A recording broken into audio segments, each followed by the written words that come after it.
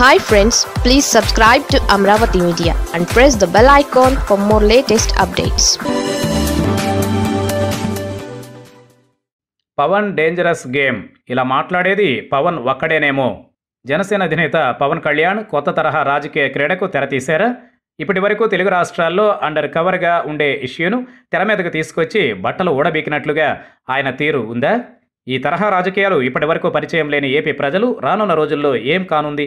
కులాల పేరుతో చేసే రాజకీయాలను తర్వాతి లెవెల్కు తీసుకెళ్ళిన పవన్ ఒక డేంజరస్ గేమ్ ఆడుతున్నట్లు చెప్పాలి. కాకినాడలో నిర్వహించిన వారాహి విజయయాత్రలో భాగంగా బహిరంగ సభలో ప్రసంగించిన పవన్ కళ్యాణ్ తన విశ్వరూపాన్నే ప్రదర్శించారని చెప్పాలి. సున్నితమైన కులాల అంశాన్ని తన ప్రసంగాల్లో తరచూ ప్రస్తావించే పవన్ కళ్యాణ్ కాకినాడ సభలో అందుకు భిన్నమైన తీరును ప్రదర్శించారు. ఇప్పటి వరకు మరే రాజకీయ అధినేత కూడా చేయని రీతిలో ఆయన ప్రసంగాలు ఉన్నాయి. కులాలని అస్త్రాలుగా చేసుకుని ఓటు బ్యాంక్ రాజకీయాలు చేయడం చూశాం. అవన్నీ కూడా తెర వెనక చేసేవే తప్పించి తెర మీద మాట్లాడేది తక్కువని చెప్పాలి.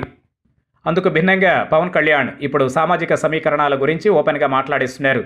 కులాల మధ్య ఉండే సున్నితమైన సరళ రేఖను పవన్ తన మాటలతో కొత్త సమీకరణాలకు తెరతీస్తున్నారని చెప్పాలి. ఈ తరహా పొలిటికల్ గేమ్ను ఇప్పటి వరకు మరే పార్టీ అధినేతలు ఇంతవరకు ఆడింది లేదు. ఇప్పుడు చెబుతున్న అంశం మరింత బాగా అర్థం కావాలంటే కాకినాడలో ఏర్పాటు చేసిన సభలో పవన్ చేసిన ఈ వ్యాఖ్యల్ని యథాతథంగా వింటే ఇట్టే అర్థమవుతుంది. ఇంతకు పవన్ ఏమన్నారంటే ఏపీలో కులాలను అడ్డం పెట్టుకుని నాయకులు ఎదుగుతున్నారు అభివృద్ధి చెందుతున్నారు ప్రజలు ఎదగడం లేదు. జనసేన కుల మతాలకు అతీతంగా అన్ని వర్గాల వారికి సమన్యాయం అందిస్తుంది. రాష్ట్రంలో లా అండ్ ఆర్డర్ కంట్రోల్లో లేదు. అధికార పార్టీకి చెందిన ఎమ్మెల్సీ దళిత సామాజిక వర్గానికి చెందిన తన కారు డ్రైవర్ని చంపేసి డోర్ డెలివరీ చేశారు. అప్పుడు దళిత ఎమ్మెల్యేలు ఎంపీలు ఏం చేశారు? బాపట్లలో అక్కను ఏడిపిస్తున్నాడని ప్రశ్నించినందుకు గౌడ సామాజిక వర్గానికి చెందిన ఆ యువతి సోదరుడిని చెరువు తోటలో రెడ్డి సామాజిక వర్గానికి చెందిన వ్యక్తి హత్య చేశాడు. ఇప్పుడు ఎందుకు బీసీకి చెందిన ఎమ్మెల్యేలు ఎంపీలు మాట్లాడడం లేదు? అన్ని వర్గాల ప్రజలు ఆలోచించి జనసేన పార్టీకి అవకాశం కల్పిస్తే సామాజిక న్యాయం చేస్తామంటూ వ్యాఖ్యానించారు. తన మాటలు ఒక వర్గానికి చెందిన వారి మీదనే కాదన్న విషయాన్ని స్పష్టం చేస్తూ పవన్ మరో అంశాన్ని ప్రస్తావించారు. రెండు వేల పద్దెనిమిదిలో జనసేన వీర మహిళలపై ఎమ్మెల్యే బలుపుతో కాపు సామాజిక వర్గానికి చెందిన వ్యక్తులతో దాడి చేయించారంటూ వ్యాఖ్యానించడం గమనార్హం. పంతం నానాజీపై కూడా దౌర్జన్యం చేసి దాడికి పాల్పడ్డారన్న విషయమై తీవ్రంగా బాధపడ్డా అంటూ పేర్కొన్నారు.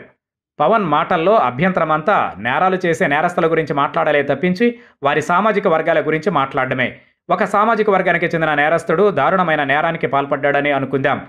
అంత మాత్రాన్న ఆ సామాజిక వర్గానికి చెందిన వారందరూ క్రిమినల్స్ కాదు కదా. పవన్ లాంటి నాయకుడి నోటి నుంచి వచ్చే మాటలు క్రమశిక్షణతో ఉండాలి. అందుకు భిన్నంగా బాధితుడి సామాజిక వర్గాన్ని ప్రస్తావిస్తూ బాధ్యుడి సామాజిక వర్గాన్ని ప్రస్తావిస్తున్న తీరుతో సామాజిక ద్వేషం మరింత పెరిగే ప్రమాదం ఉందన్న అభిప్రాయం వ్యక్తమవుతోంది. కులాల గురించి పార్టీ అధినేతలు మాట్లాడడం కొత్త కాదు కానీ ఈ తరహా మాటలు రెండు తెలుగు రాష్ట్రాల్లో ఇప్పటి వరకు ఏ పార్టీ అధినేత మాట్లాడింది లేదు. ఇదే తరహాలో పవన్ ప్రసంగాలు ఉంటే మాత్రం కులాల మధ్య పంచాయతీలు కొత్త షేప్లోకి వెళతాయని అంటున్నారు. జరిగిన దారుణాలని బాధితుల కష్టాల్ని హైలైట్ చేయడం తప్పు కాదు.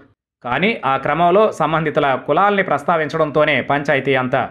ఇప్పటికే ఏపీలో కులాల రొచ్చు ఎక్కువన్న విమర్శ వినిపిస్తూ ఉంటుంది. కాకినాడ సభతో పవన్ కళ్యాణ్ ఈ కులాల అంశాల్ని కొత్త తరహాలో ప్రజెంట్ చేశారు. ఇది ఇక్కడితో ఆగేది కాదు. ఎక్కడి వరకు వెళుతుందన్నది మాత్రం కాలమే సరైన సమాధానం చెబుతుందని చెప్పక తప్పదు.